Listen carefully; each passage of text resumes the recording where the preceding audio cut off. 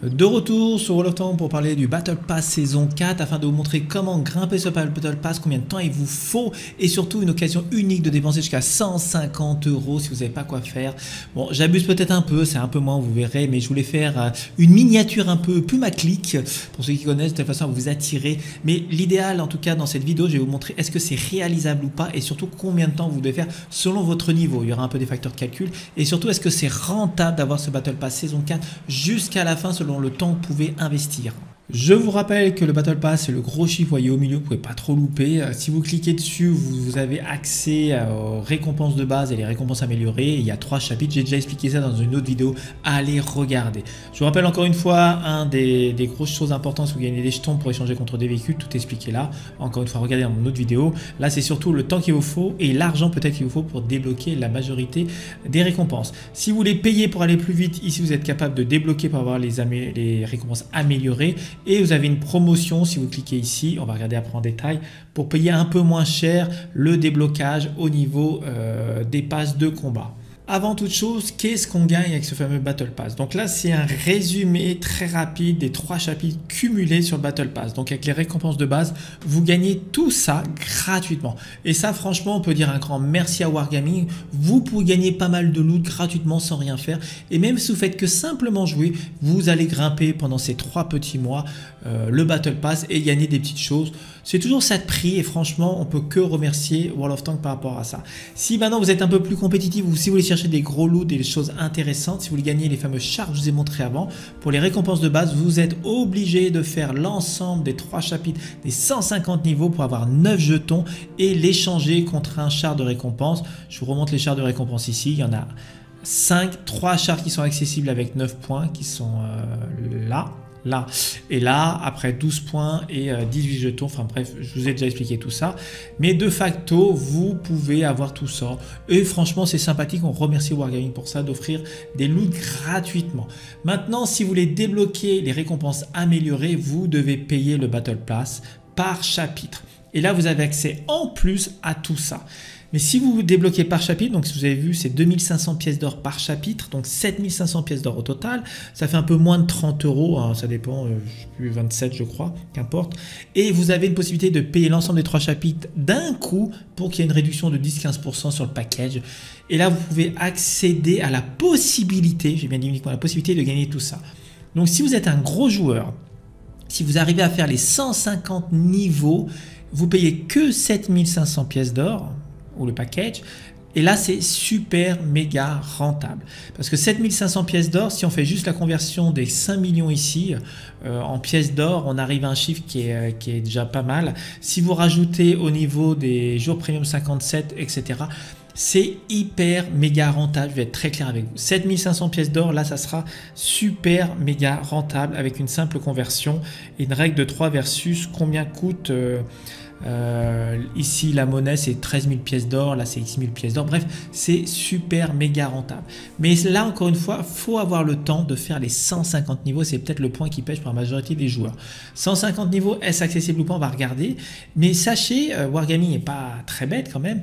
Il y a une petite possibilité de payer 250 pièces d'or pour débloquer un niveau si vous n'avez pas le temps. Donc, admettons, sur les 150 niveaux, vous en faites 120 et vous voulez débloquer les 30 derniers niveaux rapidement parce que vous êtes euh, vous manquez de temps, je sais pas, bah vous payez encore 7500 pièces d'or pour les 30 derniers niveaux et vous les débloquez et vous avez gagné les récompenses qui manquaient.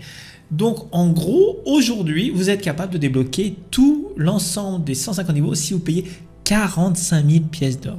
Donc 45 000 pièces d'or, c'est pas 150 euros, c'est 127, 123, je sais plus trop, je vous laisse calculer. Vous êtes capable au jour d'aujourd'hui de débloquer exactement tous les loots et d'avoir directement un char ou deux chars de récompense ici. Pour information, je vous donne une petite astuce. Il y a déjà beaucoup de joueurs qui ont utilisé cette possibilité d'utiliser 45 000 pièces d'or pour débloquer les 150 niveaux, les 3 chapitres et l'ensemble des bonus. Si un jour ça vous intéresse de savoir combien de gens ont un char, vous allez sur ce petit site qui est World Live. Vous cliquez ici sur euh, les statistiques du serveur européen. Vous pouvez cliquer à droite pour savoir les statistiques des autres serveurs si ça vous intéresse. Et ensuite, vous descendez ici, vous avez les statistiques du nombre de joueurs qui ont un char. Et typiquement, j'ai regardé qui a le fameux euh, Panzer avec les, euh, 18 points nécessaires à acquérir. Là, vous pouvez voir, il y a déjà 1214 joueurs qui ont ce char. Il faut savoir qu'avant euh, qu'il soit disponible pour tout le monde, il y avait uniquement du personnel de Wargaming et certains contributeurs de la communauté européenne qui avaient ce char. C'est à peu près 16 personnes, hein, donc c'est pas grand monde. Et là, on est passé à 1214 et il y a 350 personnes qui ont déjà le K91 PT. Donc en gros, on peut dire qu'il y a 1500 personnes en Europe qui ont déjà poussé un maximum de niveau, on va dire 1200 qui sont arrivés au niveau 150. J'ai regardé sur le serveur euh, russe, c'est à peu près pareil. Sur le serveur américain, ils sont que 400 de petits joueurs. Bref, c'est juste pour dire qu'il y a déjà 1200 personnes qui ont débloqué rapidement ce Panzer. Euh, Ouais, c'est pas mal. Je vous laisse faire le calcul de 1200 x 46 000 pièces d'or et après le nombre d'euros associés. Ça fait un petit bénéfice rapide pour Wargaming. Attention, je critique pas les gens qui font ça. Ils font chacun fait ce qu'il veut. Il y en a qui fument, il y en a qui boivent, il y en a qui partent en voyage comme ils peuvent, bien sûr. Et il y en a qui jouent à des jeux. Voilà, chacun fait son délire.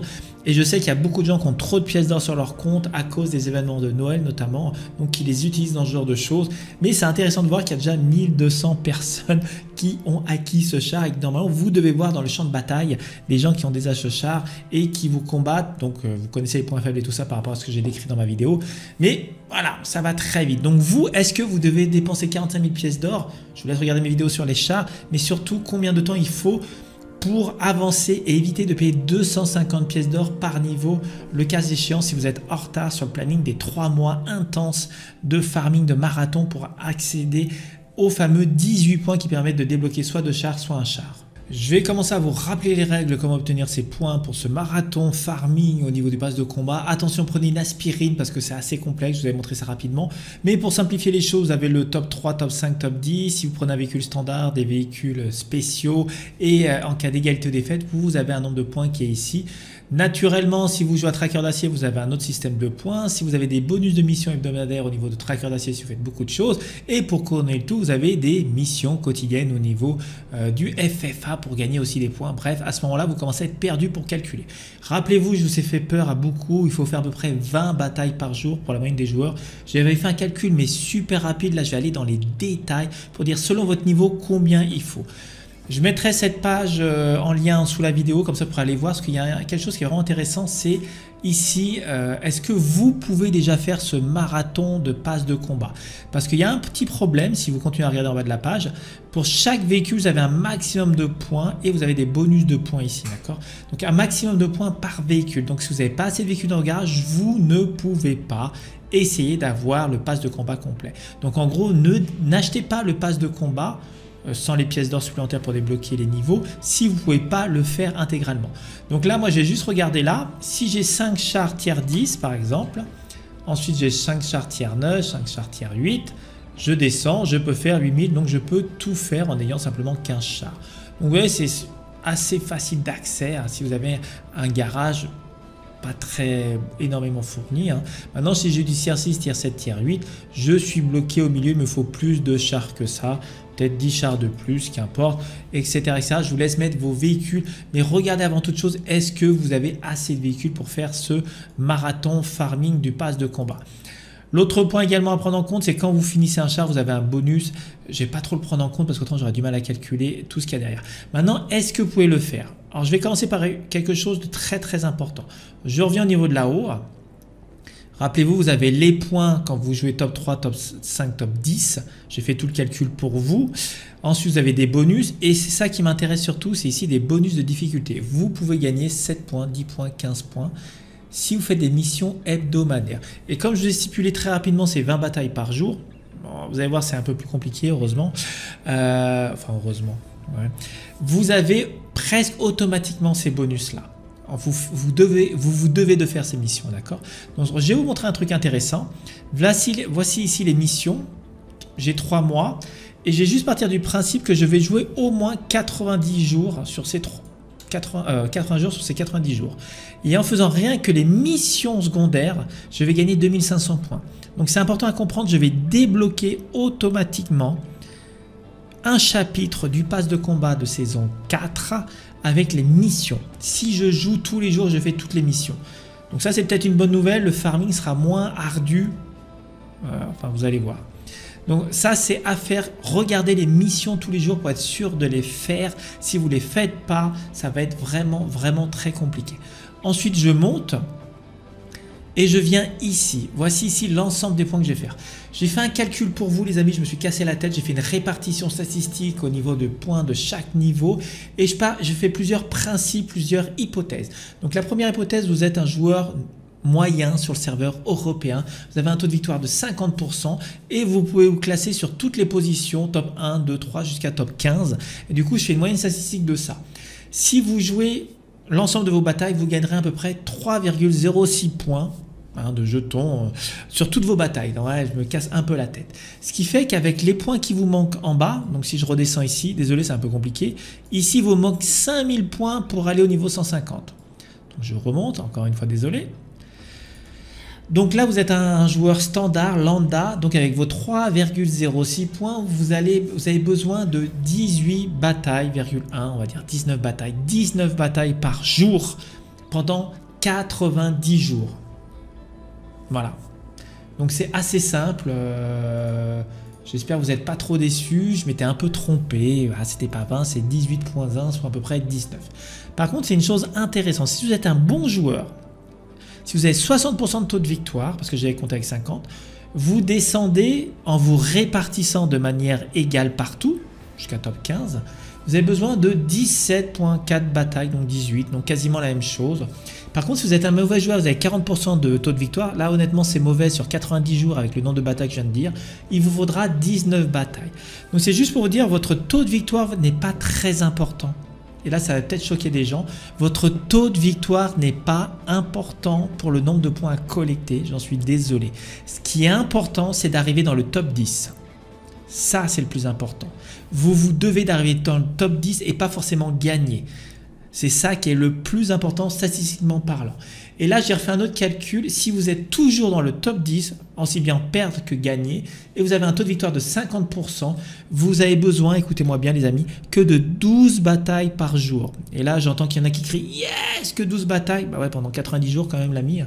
Donc 12 batailles. Si par contre, si vous êtes dans le top 10, on peut espérer que vous avez un taux de victoire supérieur, vous montez à 60% de taux de victoire, vous avez besoin que de 12 batailles par jour. 11.6 pour être exact, on va dire 12. Donc encore une fois, c'est pas ça le plus grand impact. Je me suis peut-être trompé dans mes calculs, je vais être honnête, j'ai fait un gros fichier Excel pour vous les amis, j'espère que ça vous simplifie la vie. Je me suis peut-être probablement trompé. Ce qui est important derrière, donc là je vous dis le nombre de batailles, si vous êtes un joueur standard et vous répartissez bien ici, euh, c'est à peu près 18-19 batailles par jour. Si vous êtes un bon joueur, vous êtes toujours dans le top 10, c'est à peu près 11-12 batailles par jour. Donc à vous de faire le calcul, combien de batailles il va vous manquer pour peut-être acheter euh, le nécessaire plus tard.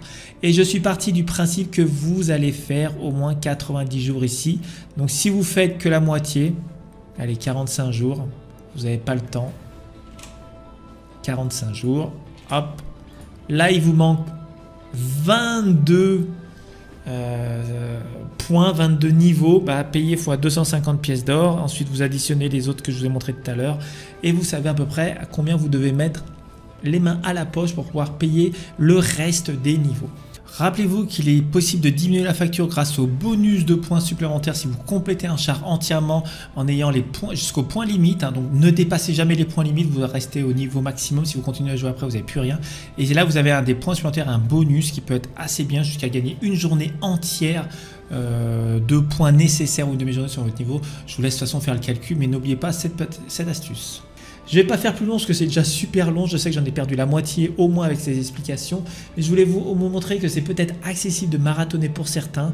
Euh, c'est clairement une discipline et le point critique important vraiment important, c'est de faire les missions quotidiennes, ça vous devez vous concentrer dessus et finir dans le top 10. Je pense que vous l'avez compris. J'ai pas fait le calcul les amis avec ça. Clairement, vous gagnerez beaucoup plus de points, mais euh, le gros problème c'est que tracteur d'acier est un peu plus long. Hein. Donc, comme j'avais fait le calcul au nombre d'heures de, farming, euh, une partie c'est à peu près 6-7 minutes. Donc, avec les fameux 12 euh, batailles par jour que je vous ai dit tout à l'heure, si vous êtes un bon joueur, il vous faut à peu près une heure et demie, euh, à peu près une heure et quart. Si vous jouez à Tracker d'acier, il faudra plus de temps. À vous de voir, mais si vous aimez Tracker d'acier, il y a plus de points. À mon avis, ça s'équilibre. Voilà, je vous ai donné toute l'information. Pour moi, pour information, je vais jouer normalement. Je vais pas me casser la tête. Je vais jouer normalement. Je vais voir ce que j'ai à la fin. Euh, et je vais essayer d'arriver à peu près au milieu dans cette zone-là. Mon idée, c'est si j'arrive au milieu, bah, peut-être que je paierai le Battle Pass pour débloquer 9 jetons et avoir un char à 9 jetons, notamment le Future 4 que j'apprécie particulièrement. Mais clairement, je n'irai pas jusqu'au bout. À vous de voir, chacun fait ce qu'il veut, ça c'est clair. J'espère que cette petite vidéo de calcul vous a pas trop pris la tête, j'espère que vous n'avez pas mangé trop d'aspirine ou d'autres choses, qu'importe. N'hésitez pas à la liker, à partager, mettez vos calculs euh, au niveau des commentaires si vous pensez que c'est autre chose, mais je vous ai donné un indicateur général. En tout cas, bonne chance. J'estime que c'est légèrement trop pour moi, pour ma part, je ne ferai pas ce genre de marathon. Euh, bref. Euh, on a tous une vie à côté, je le souhaite pour vous. On a tous des passions autres. En tout cas, les beaux jours arrivent. C'est ça le point important. Donc, allez profiter d'une zone Covid-free et on se retrouve une prochaine fois.